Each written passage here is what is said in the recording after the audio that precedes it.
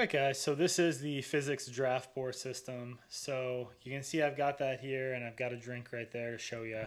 So I figured I'd give you a breakdown quick of what's included. Um, you get the charger and that goes right into the back of the device there. But basically with this, you've got the tap handle up here up top. It's going to come out of here. Um, this is just kind of like a little catch tray. This does come out. So if you want to take this out and you know rinse it off, if you've got some water, you know, drinks stuff in here, you can. Uh, but basically, if you just twist this bottom here, we'll twist it to the side. You can kind of see then it'll twist and then this will lift up. So that's where your drink is going to go. You just set it in there. On the underside of this, that little spout is what goes into either your can you're going to stick that right in the can hole or in your bottle, whatever you're using.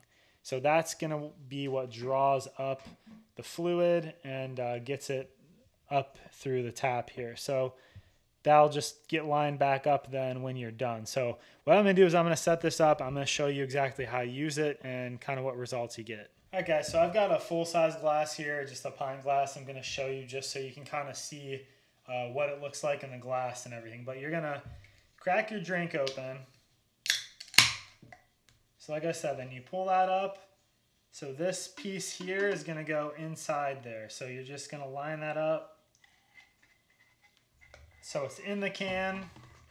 You put that down, you give it a twist. So you're just twisting it this way. That's lined up here again. So you basically want to hold your beer at a 45 degree angle, your glass, as you're getting it. So you kind of hold it like this as it fills, you kind of tip it back up.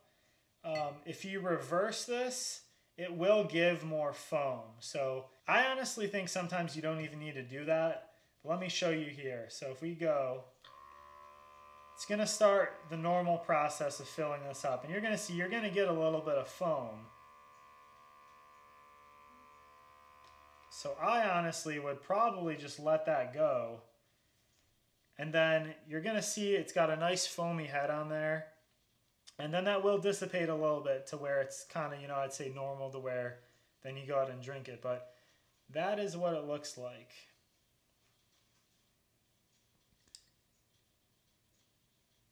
You can see, so that's with an IPA. You can see very frothy there, which is exactly what you want. So usually what I'll do here is I'll fill it up like this. Open this back up. Usually then there's a little bit left in here and then you can just basically top it off the rest of the way. And I mean, that's a pretty good finished product in my opinion.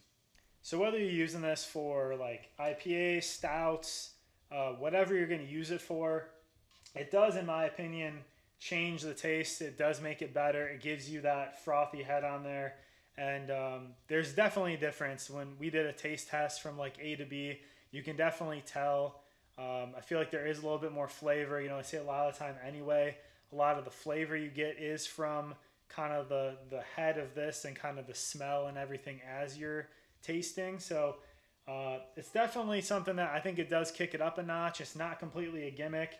You can see it does give a nice good head on here compared to say just drinking it out of the can. So it's something I would definitely recommend. It's a cool, neat little device. If you have a beer lover in your life, I think it's a great gift. Um, birthday gift, Christmas gift, whatever you want to get it for. Basically, just plug it in. And then what I typically do then to uh, clean this, you can either fill up this or like say if you have a glass bottle, I typically fill it up with warm water and then you basically just run it one time with the water through it and then that's going to clean it out. I'm very happy with it. I think it's a pretty cool product. Check it out.